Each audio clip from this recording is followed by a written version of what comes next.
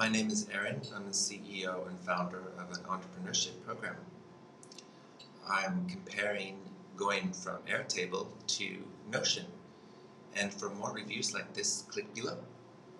I'm using Airtable and Notion for knowledge management, uh, keeping databases, um, CRM function, uh, collecting data for research, um, and for team collaboration.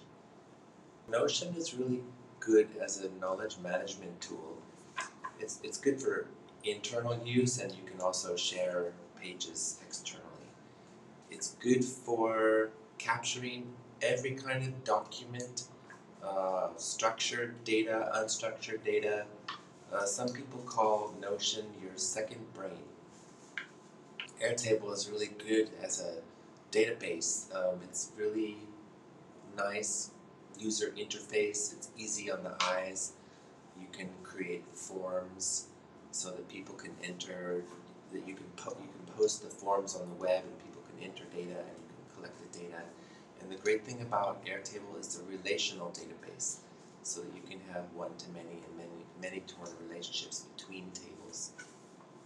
For Airtable, it's a lot easier to get started because it has an interface that people might find familiar, similar to like Google or Excel.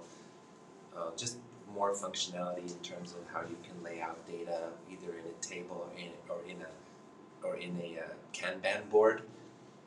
Notion though has quite a big learning curve. I had to watch a lot of videos um, in order to understand how to even get started.